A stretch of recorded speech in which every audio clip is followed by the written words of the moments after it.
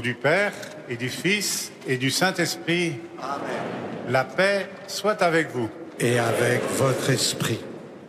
Ce soir, notre Église est remplie de laïcs, de chrétiens, de baptisés occidentaux et orientaux. Elle est agrandie par la présence de deux frères évêques d'Église catholique orientale et de nombreux autres prêtres qui sont dans ces mêmes églises catholiques et orientales. Avec euh, Cathéo qui nous rejoint, avec euh, Radio Notre-Dame qui nous relaie, nous formons une église vraiment universelle. Pour cet anniversaire annuel, cette messe annuelle de l'œuvre d'Orient. Rendons grâce à Dieu pour sa présence à travers son Église dans, toute notre, dans tout notre monde. Et comme en chaque temps et chaque moment où nous voulons le recevoir, l'accueillir, demandons-lui miséricorde sur nos vies.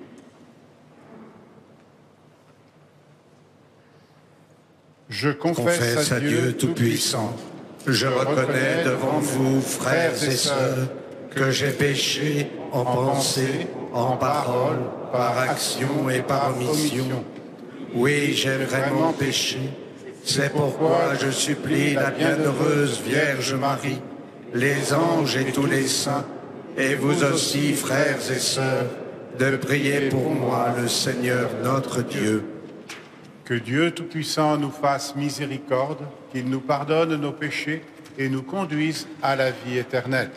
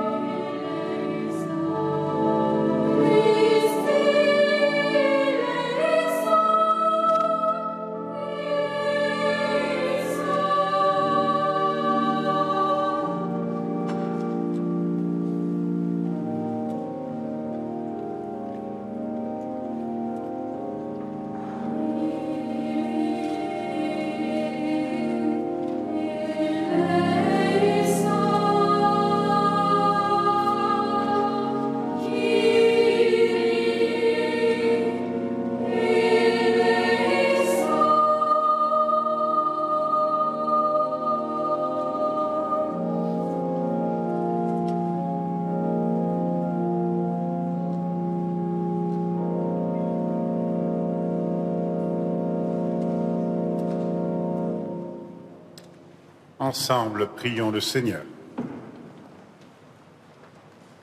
Dieu de puissance et de miséricorde, ne laisse pas le souci de nos tâches présentes entraver la marche de ceux qui se hâtent à la rencontre de ton Fils. Mais forme-nous à la sagesse d'en haut, celle qui nous fait entrer en communion avec lui. Lui qui vit et règne avec toi dans l'unité du Saint-Esprit, Dieu pour les siècles des siècles.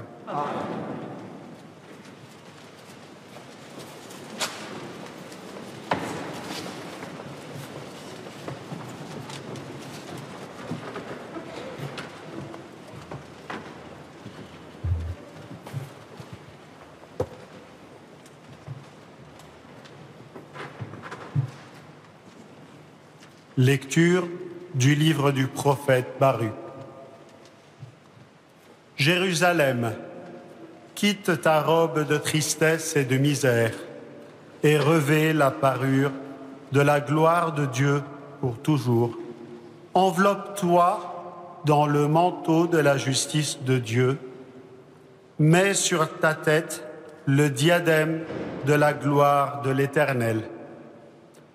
Dieu va déployer ta splendeur partout sous le ciel, car Dieu, pour toujours, te donnera ses noms, paix de la justice et gloire de la piété envers Dieu. Debout Jérusalem, tiens-toi sur la hauteur et regarde vers l'Orient. Vois tes enfants rassemblés du couchant au levant par la parole du Dieu saint. Ils se réjouissent parce que Dieu se souvient. Tu les avais vus partir à pied, emmenés par les ennemis, et Dieu te les ramène portés en triomphe, car comme sur un trône royal. Car Dieu a décidé que les hautes montagnes et les collines éternelles seraient abaissées et que les vallées seraient comblées. Ainsi la terre sera aplanie afin qu'Israël chemine en sécurité dans la gloire de Dieu. Sur l'ordre de Dieu, les forêts et les arbres odoriférants donneront à Israël leur ombrage car Dieu conduira Israël dans la joie, à la lumière de sa gloire, avec sa miséricorde et sa justice. Parole du Seigneur.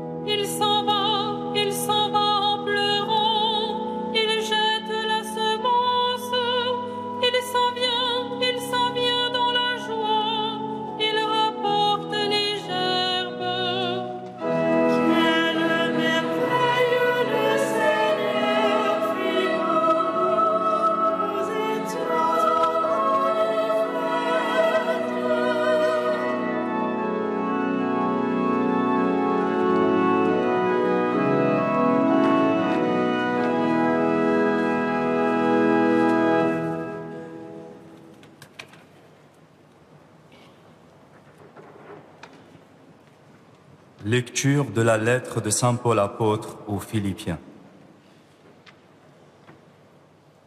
Frères, à tout moment, chaque fois que je prie pour vous tous, c'est avec joie que je le fais, à cause de votre communion avec moi dès le premier jour jusqu'à maintenant pour l'annonce de l'Évangile.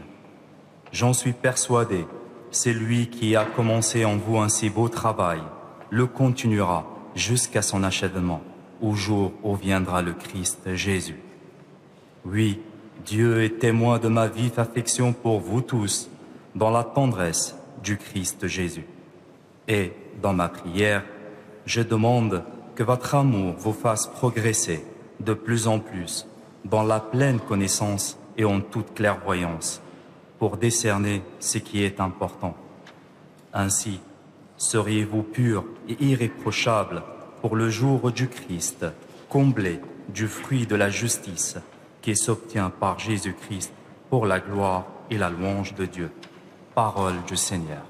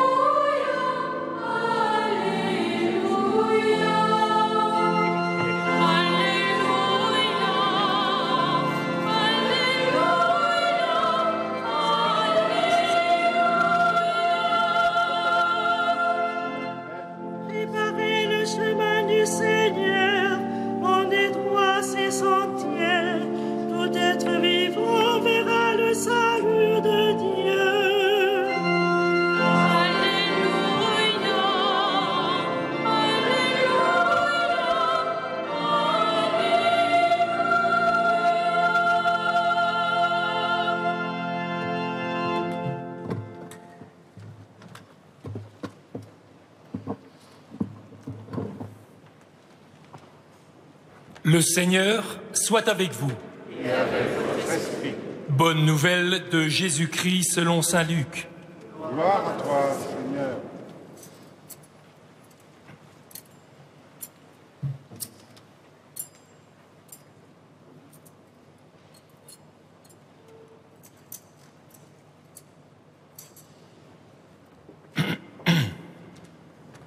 L'an 15 du règne de l'empereur Tibère, Ponce Pilate étant gouverneur de la Judée, Hérode étant alors au pouvoir en Galilée, son frère Philippe dans le pays d'Iturée de Traconitide, Lysanias en Abilène, les grands prêtres étant Han et Caïphe, la parole de Dieu fut adressée dans le désert à Jean, le fils de Zacharie. Il parcourut toute la région du Jourdain en proclamant un baptême de conversion pour le pardon des péchés, comme il est écrit dans le livre des oracles d'Isaïe, le prophète. Voix de celui qui crie du Seigneur, rendez droit ses sentiers, tout ravin sera comblé, toute montagne et toute colline seront abaissées. Les passages tortueux deviendront droits, les chemins rocailleux seront aplanis, et tout être vivant verra le salut de Dieu. Acclamons la parole de Dieu.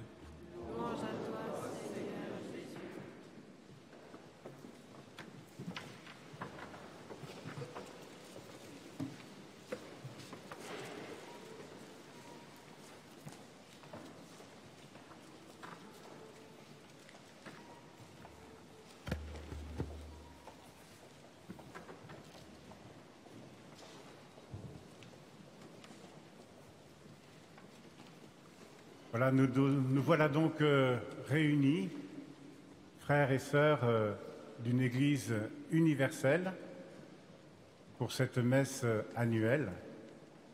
Et c'est aujourd'hui la parole de Jean-Baptiste, ou plutôt la parole de Saint Luc, qui nous présente Jean-Baptiste, qui nous réunit.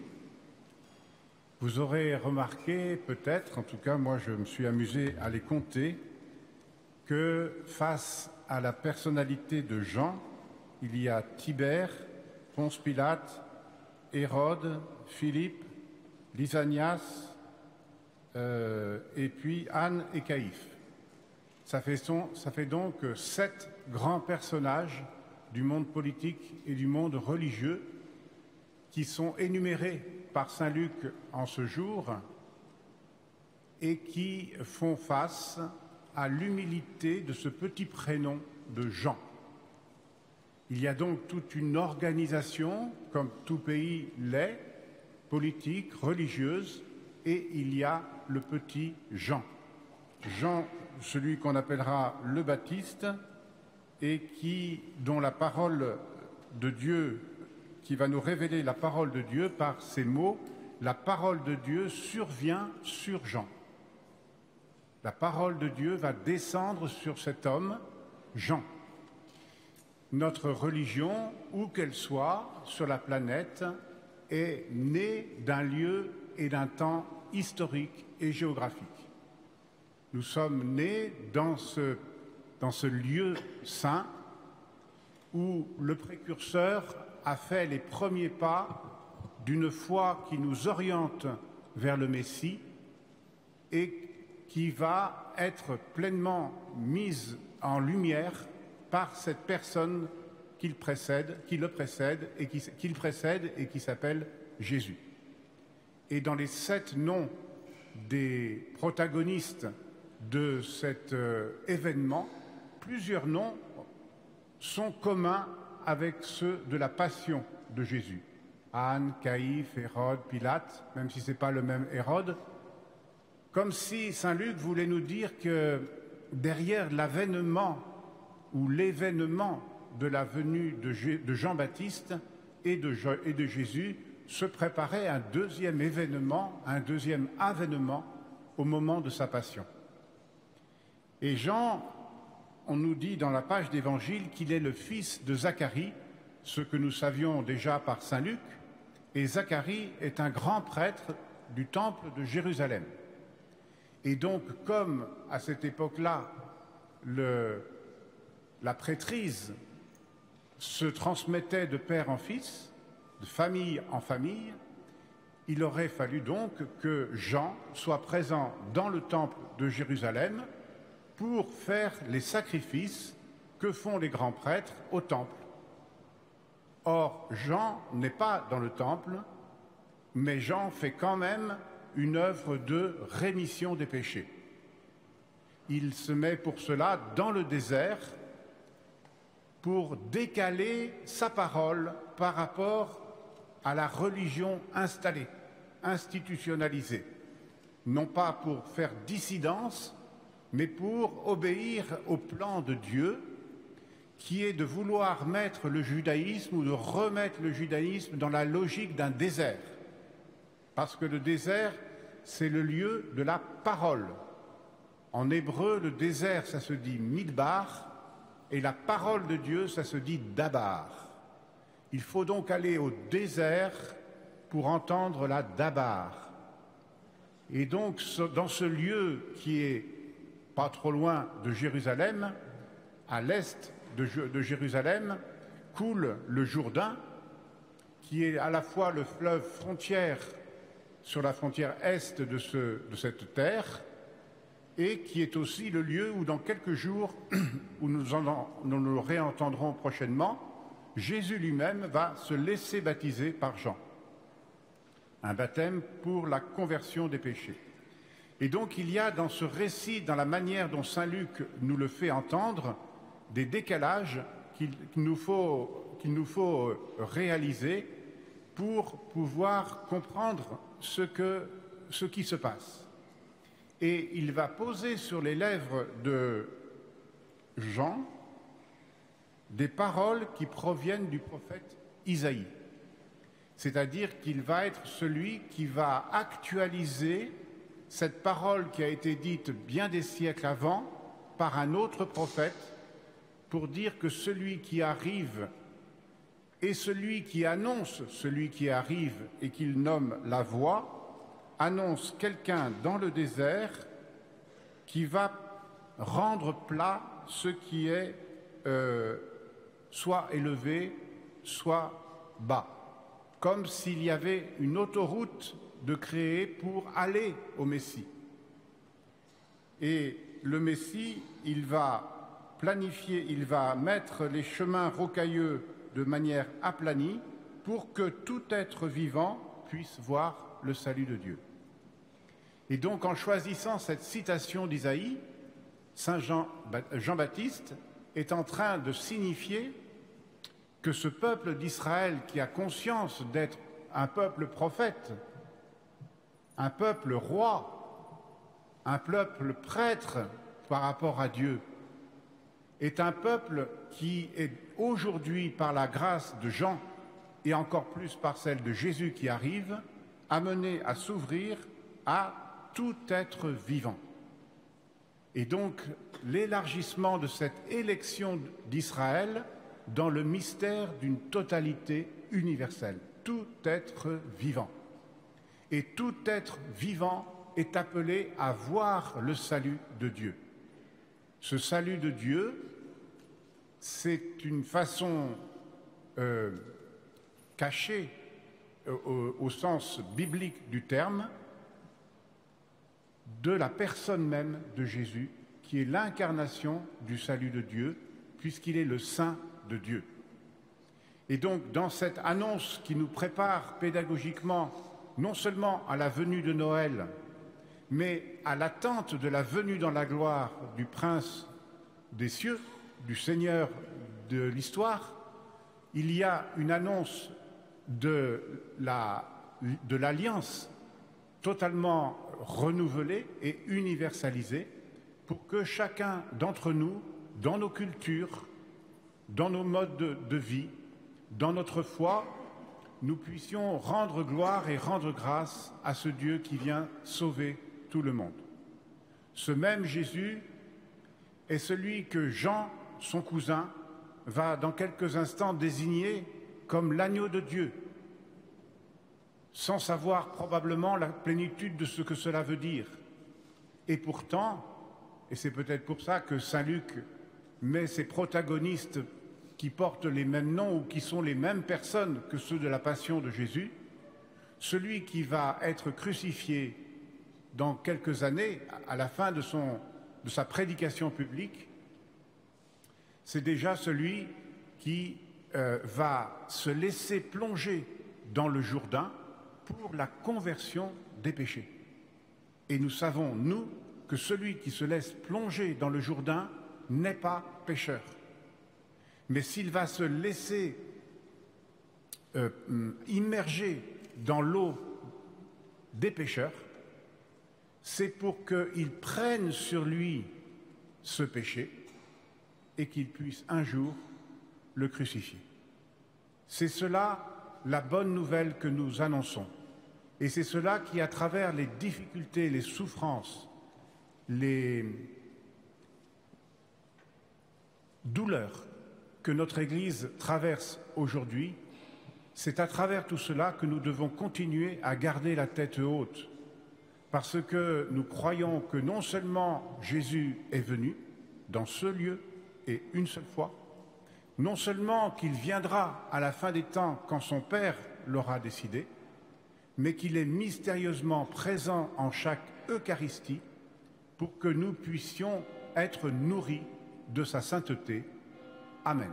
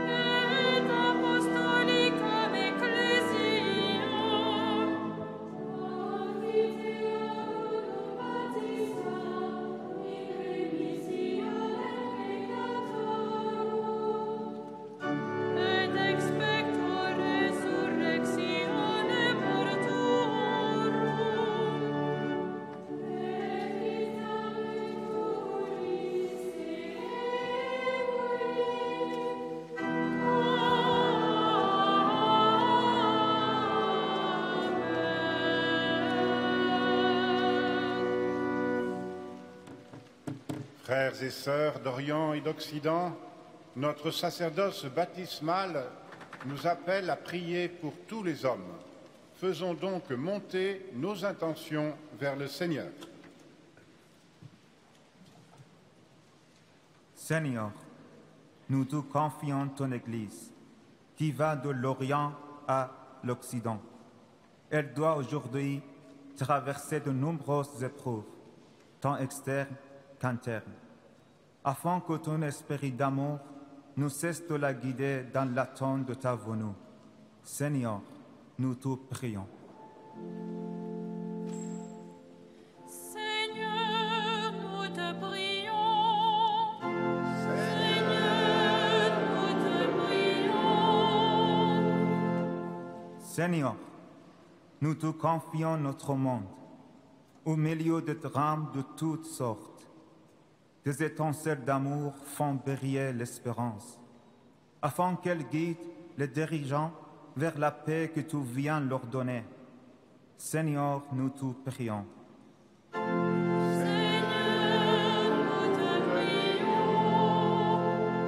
Seigneur, en cette messe de l'ouvre d'Orient, nous te confions les chrétiens qu'elle soutient. Nous te confions les acteurs qui la font vivre, ainsi que les donateurs et les bénévoles qui partagent leurs talents, afin que par eux aussi ton règne vienne. Seigneur, nous te prions.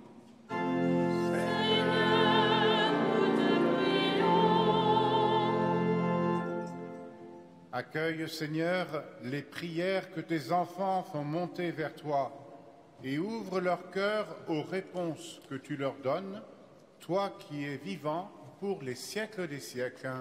Amen. Je vous invite à vous asseoir. La quête qui va avoir lieu, c'est pour la paroisse qui accueille. Et à la sortie, vous serez aussi sollicité. On sollicitera votre générosité pour euh, l'œuvre d'Orient. Merci pour tous.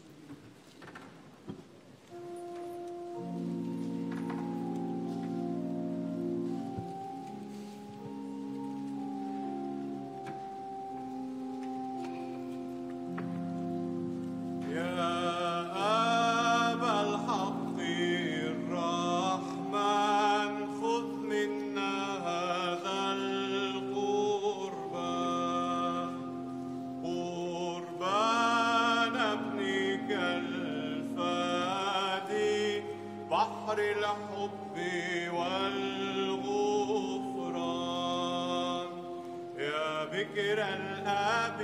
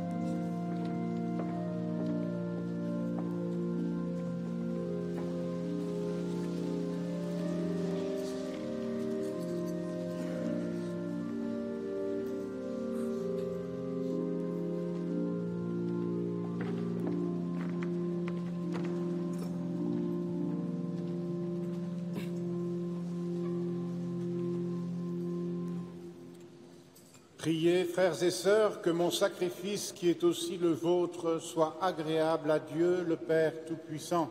Que le Seigneur reçoive de vos mains ce sacrifice à la louange et à la gloire de son nom, pour notre bien et celui de toute l'Église.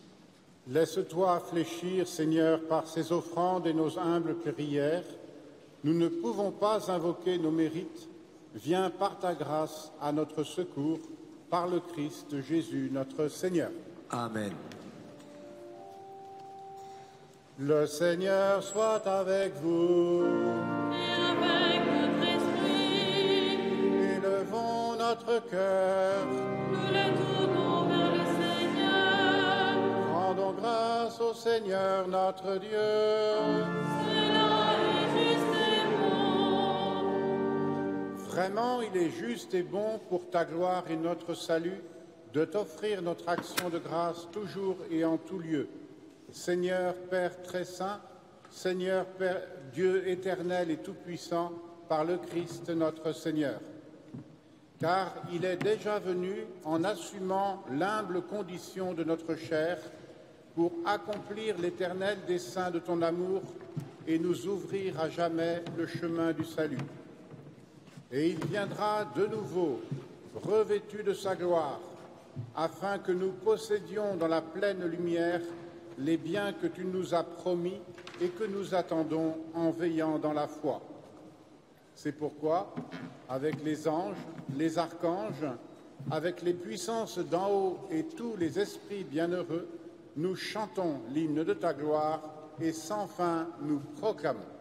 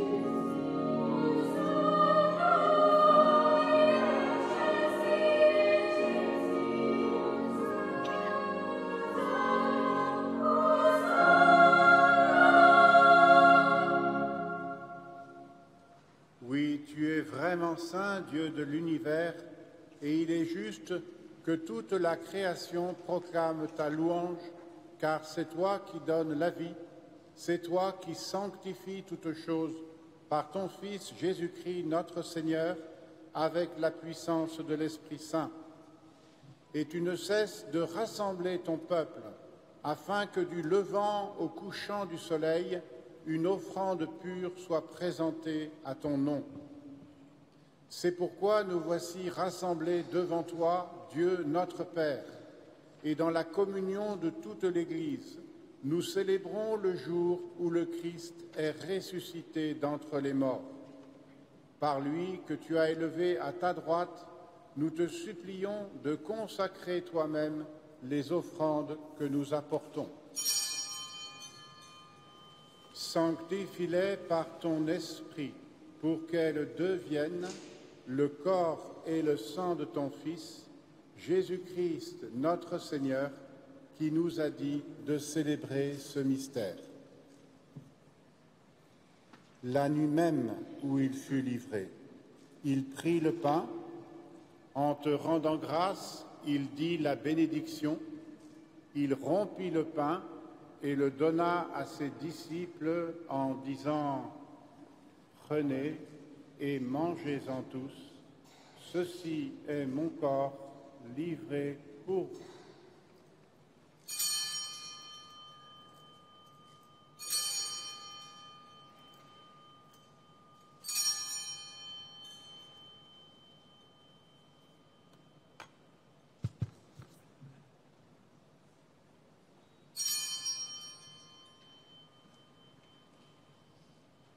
Même, après le repas, il prit la coupe. En te rendant grâce, il dit la bénédiction et donna la coupe à ses disciples en disant, Prenez et buvez-en tous, car ceci est la coupe de mon sang, le sang de l'alliance nouvelle et éternelle qui sera versé pour vous et pour la multitude en rémission des péchés vous ferez cela en mémoire de moi.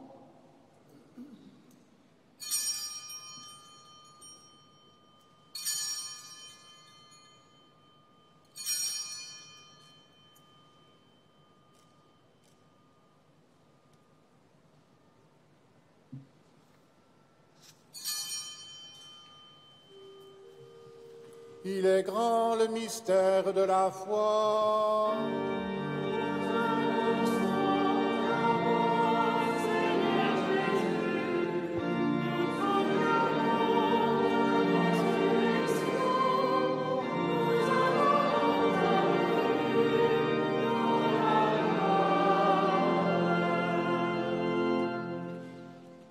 Faisant ainsi mémoire de ton Fils, de sa passion qui nous sauve, de sa glorieuse résurrection et de son ascension dans le ciel, alors que nous attendons son dernier avènement, nous t'offrons, Seigneur, en action de grâce, ce sacrifice vivant et saint. Regarde, nous t'en prions, l'oblation de ton Église et daigne y reconnaître ton Fils qui, selon ta volonté, s'est offert en sacrifice pour nous réconcilier avec toi. Quand nous serons nourris de son corps et de son sang et remplis de l'Esprit Saint, accorde-nous d'être un seul corps et un seul esprit dans le Christ.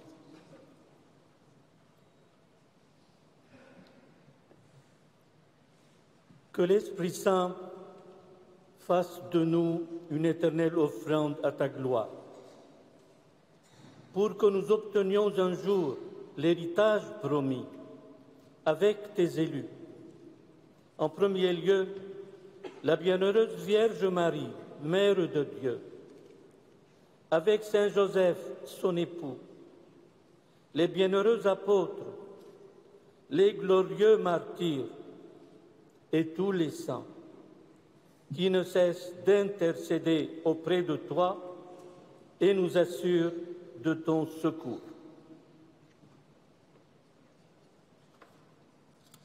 Et maintenant, nous te supplions, Seigneur, par le sacrifice qui nous réconcilie avec toi, étends au monde entier le salut et la paix. Affermis ton Église en pèlerinage sur la terre, dans la foi et la charité, en union avec ton serviteur, notre pape François, en voyage apostolique en Orient, l'administrateur de notre diocèse, Georges, l'ensemble des évêques, les prêtres, les diacres et tout le peuple des rachetés. Écoute en ta bonté les prières de ta famille que tu as voulu rassembler devant toi. Dans ta miséricorde, ramène à toi, Père très aimant, tous tes enfants dispersés.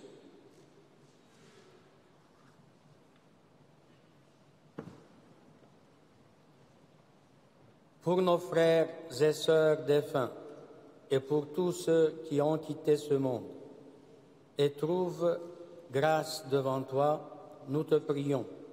En ta bienveillance, accueille-les dans ton royaume, où nous espérons être comblés de ta gloire, tous ensemble et pour l'éternité. Par le Christ notre Seigneur, par qui tu donnes au monde toute grâce et tout bien.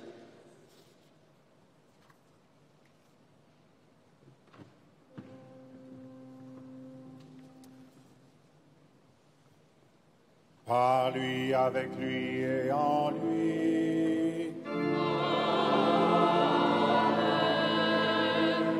À toi, Dieu le Père Tout-Puissant, dans l'unité du Saint-Esprit. Tout honneur et toute gloire pour les siècles des siècles.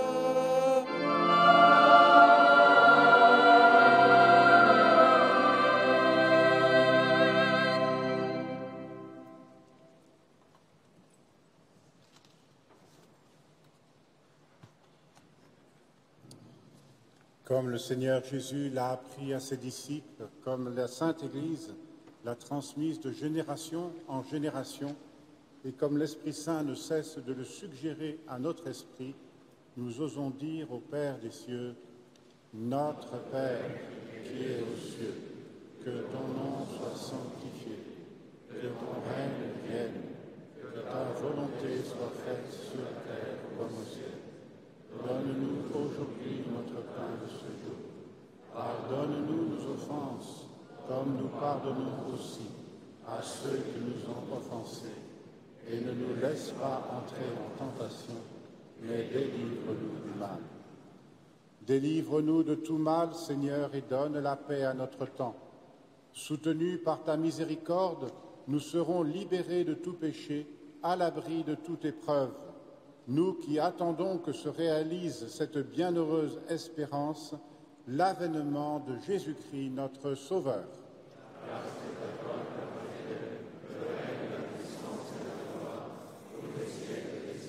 Seigneur Jésus-Christ, tu as dit à tes amis, à tes apôtres, je vous laisse la paix, je vous donne ma paix. Ne regarde pas nos péchés, mais la, foi de ton Église. Pour que ta volonté s'accomplisse, donne-lui toujours cette paix et conduis-la vers l'unité parfaite, toi qui règnes pour les siècles des siècles.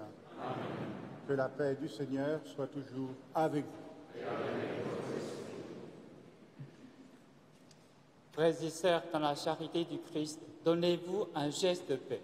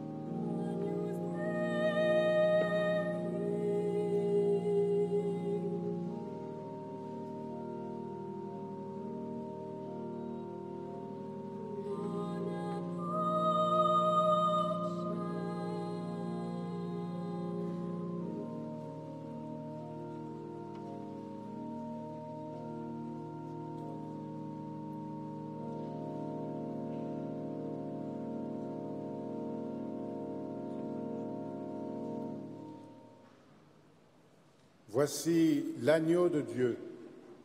Voici celui qui enlève les péchés du monde. Heureux les invités au repas des noces de l'agneau.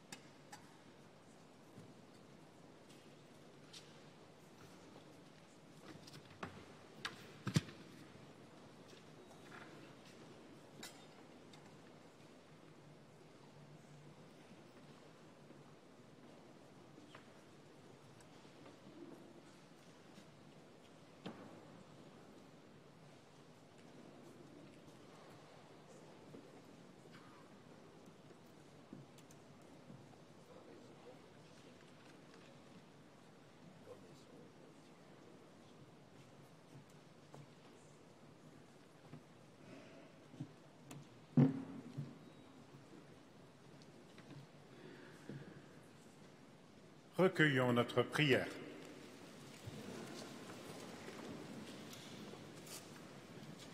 Comblés par cette nourriture spirituelle, nous te supplions, Seigneur, quand nous participons à ce mystère, apprends-nous à évaluer avec sagesse les réalités de ce monde et à nous attacher au bien du ciel par le Christ notre Seigneur.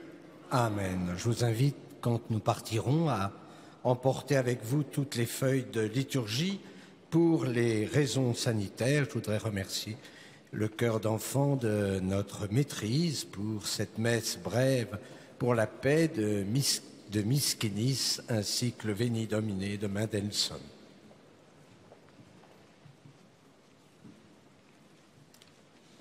Le Seigneur soit avec vous.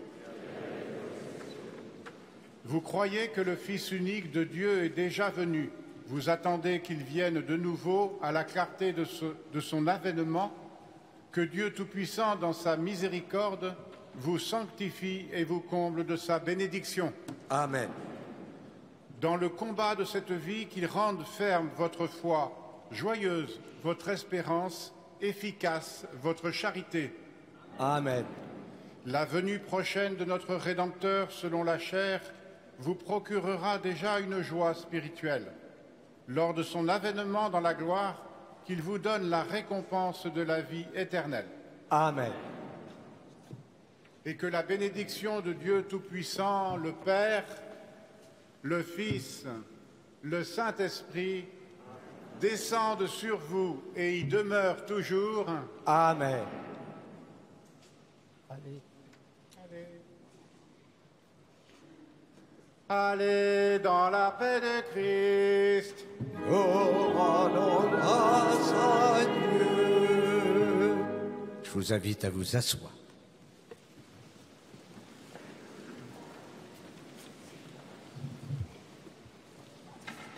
Avec notre président, M. Jean-Yves Tolot, notre conseil d'administration et toute l'équipe de l'œuvre d'Orient, j'ai, comme à chaque année, un certain nombre de remerciements à adresser. Tout d'abord à Monseigneur Philippe Marseille, qui a bien voulu présider cette liturgie, je l'en remercie. J'ai eu cette occasion pour dire notre amitié fidèle à Monseigneur Michel Aupetit, qui a toujours écouté avec bienveillance toutes les questions qu'on lui a remontées sur l'œuvre d'Orient et les chrétiens d'Orient. Et je souhaite la bienvenue à Monseigneur Georges Pontier, qui est un ami de l'œuvre d'Orient et que nous connaissons bien, puisqu'il était tous les ans à la messe de l'œuvre d'Orient à Marseille, car il y a aussi une messe de l'œuvre d'Orient à Marseille. Je voudrais remercier euh, tous les évêques qui nous ont fait l'amitié d'être présents. Monseigneur Élie Eguiayan, qui est l'évêque des Arméniens de France, et Monseigneur Gemayel, qui est l'évêque des Maronites de France. Et j'en profite pour saluer Monseigneur Matard, qui se cache derrière son masque, que je salue avec beaucoup d'amitié. Je salue également le recteur de l'Université Saint-Joseph, qui est à Paris déjà depuis quelques jours, et qui est aussi euh, quelqu'un que nous aimons beaucoup à l'œuvre d'Orient. Alors je remercie euh, tous les prêtres qui sont là, les prêtres euh, latins et les prêtres orientaux. Je remercie euh, mon prédécesseur, le monseigneur Brizard, qui est là, et notre ancien président, l'amiral Pierre Sabatier Gara, qui nous fait l'amitié de sa fidélité. Bien sûr, euh, il y aurait beaucoup euh, de personnes à remercier. Je ne peux le faire de manière intégrale. Je ne voudrais pas être trop long. Vous me permettrez euh, de remercier de leur présence Madame l'ambassadrice d'Arménie et Monsieur l'ambassadeur du Liban. Inutile de vous dire que ces derniers temps, nous avons eu plusieurs contacts avec euh, les ambassadeurs de ces deux pays. Et est-ce que je peux me risquer à dire que des liens d'amitié se sont noués, en tout cas euh, de, confiance, tant il est vrai que à l'œuvre d'Orient, nous, nous, nous pensons tous les jours, absolument tous les jours, à la situation de l'Arménie et du Haut-Karabakh, comme aussi du Liban. Mais encore euh, la question de l'Ukraine, la question de la Syrie, la question de l'Irak, celle de l'Éthiopie et de l'Érythrée. Frères et sœurs, je le redis encore une fois, le défi dans ces pays-là, c'est assurément le défi de la survie, de la pérennité des chrétiens d'Orient. Voilà, il y a un risque de disparition des chrétiens dans ces pays qui serait un drame pour eux, un drame pour les pays dans lesquels ils sont actuellement, qui perdraient ainsi des citoyens de première importance. Ce serait un drame pour l'Europe, ce serait un drame pour la Méditerranée, ce serait un drame pour la paix et un drame pour les églises. Oui, frères et sœurs, plus que jamais, l'ensemble de l'œuvre d'Orient, à commencer par nos donateurs auxquels j'exprime ma gratitude, est absolument mobilisé pour être dans ces pays peut-être des lanceurs d'alerte, comme l'on dit aujourd'hui, peut-être en tout cas des témoins, des amis, des compagnons de route, dans le désarroi, la souffrance et la douleur dans laquelle nos frères se trouvent. Il n'est plus possible que notre pays ne soit pas plus mobilisé dans toutes les structures de notre société pour aider, et je dirais même pour sauver, la présence des chrétiens dans ces pays. Merci Madame l'ambassadrice, merci Monsieur l'ambassadeur, votre présence nous touche. Voilà maintenant que nous allons remettre euh, le prix de l'œuvre d'Orient. C'est donc euh, auparavant Madame Hélène cause que je remercie d'avoir accepté euh, de présider notre jury, jury dont je ne fais pas partie pour ne pas rester objectif. Je la remercie de sa présidence, je la remercie de sa présence et je l'invite, si elle le veut bien, à venir nous dire quelques mots.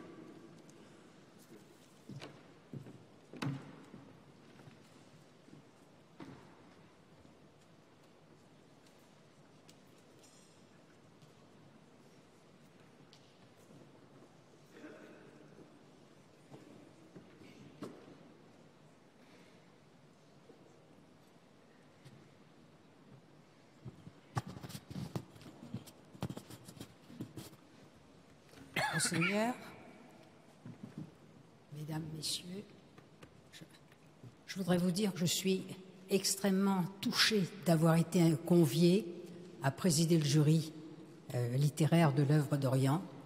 D'abord parce que cette œuvre me tient infiniment à cœur. Je dirais d'une certaine façon, je suis aussi une chrétienne d'Orient, puisque je suis orthodoxe, mais je suis œcuménique, je suis chez moi, ici. Euh, je pense que cette, bon, cette œuvre est indispensable en ce moment. Nous avons tous le cœur déchiré pour ce qui se passe dans cet Orient et pour le sort de nos frères chrétiens d'Orient. Euh, je sais, et les paroles de Monseigneur sont très exactes, nous ne faisons pas ce qu'il faut. Notre personne ne fait ce qu'il faut pour les sauver.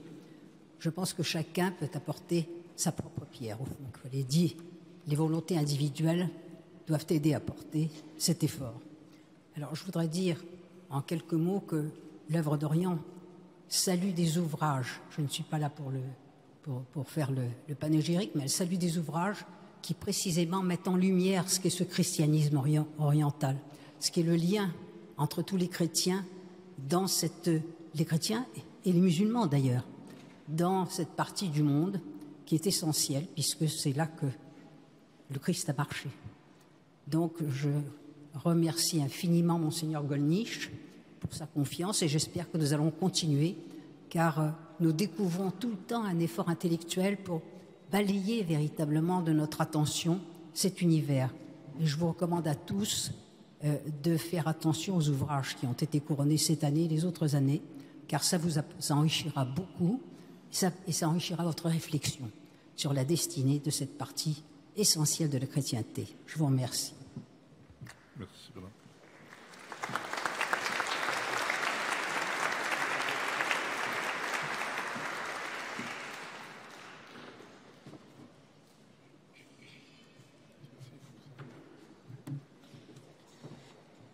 Alors ce prix a été créé il y a dix ans par euh, l'œuvre d'Orient et monseigneur Pascal Goniche pour euh, faire reconnaître et aimer les chrétiens d'Orient.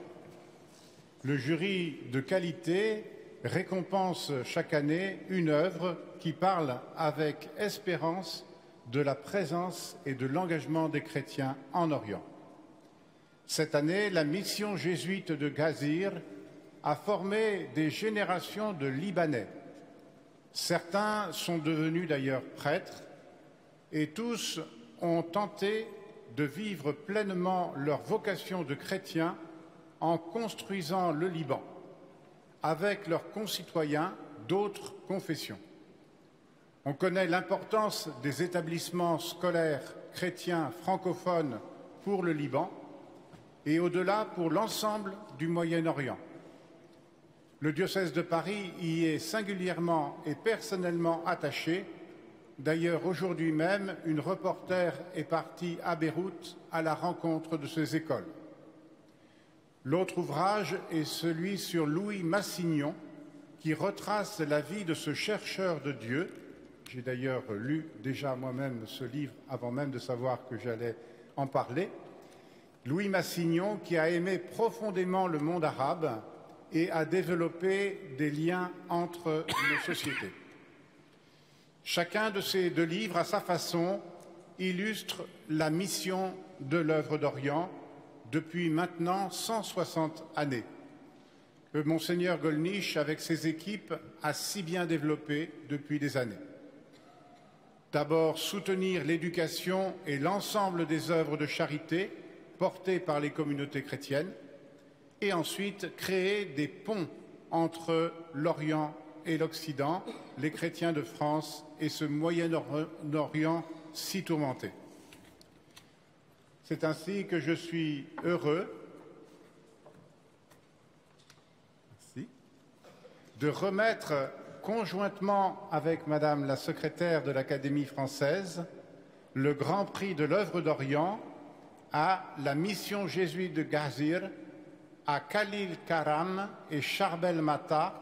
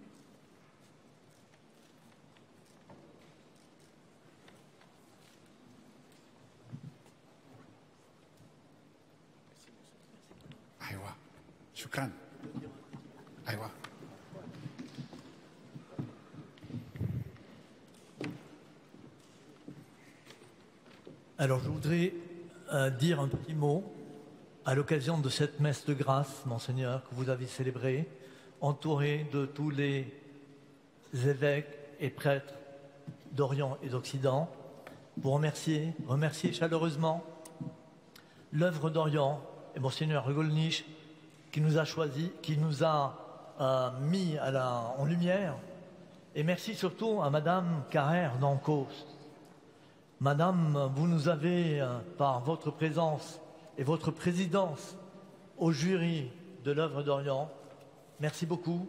Vous nous avez vraiment honorés euh, pour ce livre-là. Alors, je voudrais vous dire aussi un mot. À chaque fois que le Liban est passé par une difficulté, par une guerre, par un événement difficile, c'est toujours l'œuvre d'Orient et les jésuites qui se sont montrés à nos côtés.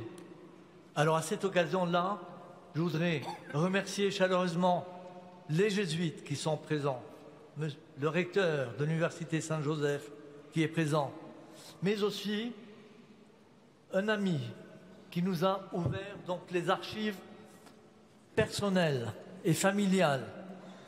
C'est le père Claude Charvet qui est présent avec nous et qui est le neveu du dernier, du dernier recteur du séminaire de Razir. Alors je vous remercie aussi tous présents, mes amis, ma famille et tout le public ici présent.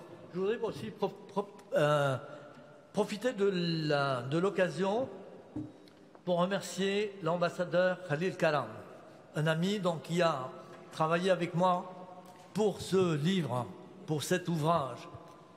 Il a tout fait vraiment pour donner une visibilité donc à cet ouvrage. Alors, je le remercie chaleureusement et publiquement. Merci, monsieur l'ambassadeur. Merci à vous. Précision, c'est que Monseigneur n'a pas C'est lui, le père Claude Charvet.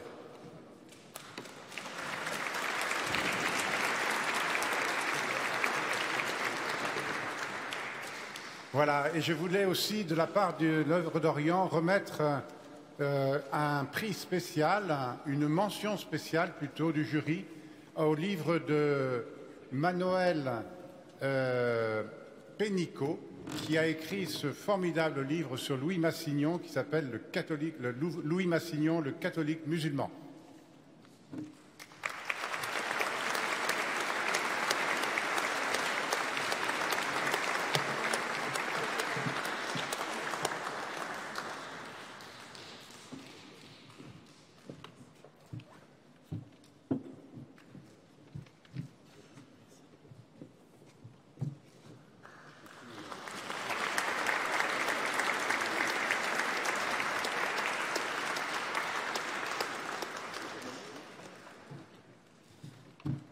Bonsoir à toutes et à tous. Je, vais être très bref. Je voudrais remercier mon éditeur Bayard, euh, remercier le jury aussi, principalement aussi, l'œuvre d'Orient et toutes les équipes ici présentes.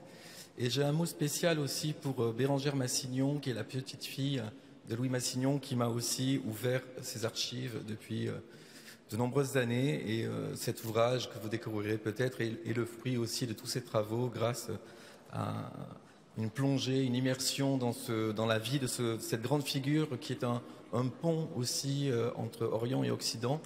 Et euh, malgré le titre euh, peut-être provocateur de catholiques musulmans, sachez que c'est le pape Pie XI qui avait appelé Louis Massignon comme cela en 1934. Et donc, d'ailleurs, il, a été ordonné aussi dans le rite catholique melkite. Donc, pour vous dire qu'il n'était pas du tout converti à l'islam. Mais je vous invite donc à le, découvrir et en parler autour de vous. Merci.